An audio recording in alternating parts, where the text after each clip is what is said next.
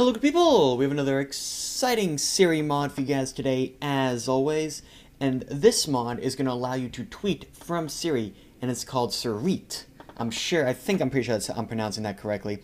And you can find this in the ModMyi repo. And basically, all it does is just a simple tweak. You install it, and if you have Twitter connected to your iPhone, you can just simply open up Siri, say tweet, and then say whatever you want to tweet. So let's give that a try. Tweet hello.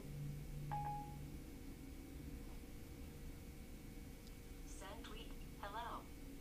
And then now if we go in to Twitter and we refresh, you should see our tweet. Let's see. There we go.